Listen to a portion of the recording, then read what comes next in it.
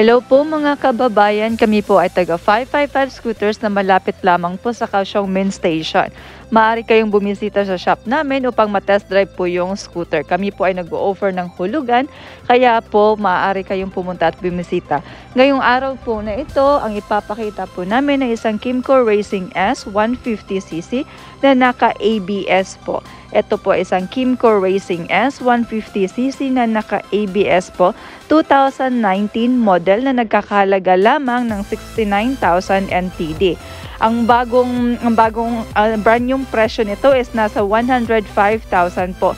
Sa amin is nasa 69,000 lamang po. Ito ay full guarantee at ito ay isang accident free. Makikita nyo po na good as brand new ang scooter na ito makikita na makinis pa po siya, yung mga detalye, walang gas-gas, at, at mababa po yung milya nito. Dito naman po sa harap, yung gulong, yung gulong niya is nasa 12 inch yung nasa harap.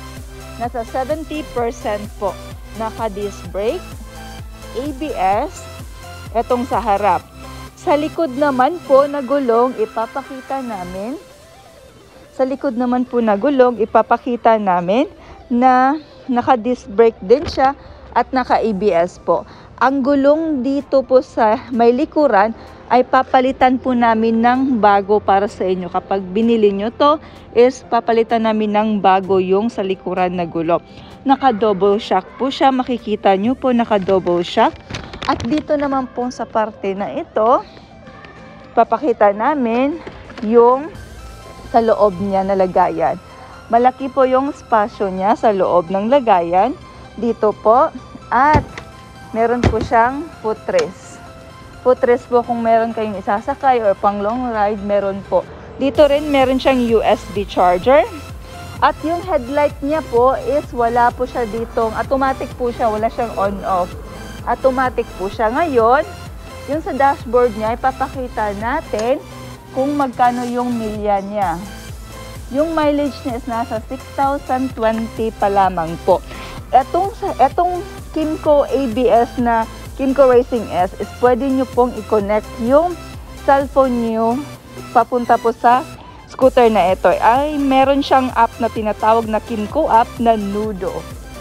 Tutulungan po namin kayo kung paano po. Ngayon po, papaanda rin po namin yung scooter para mapakinggan yung tunog ng makina po.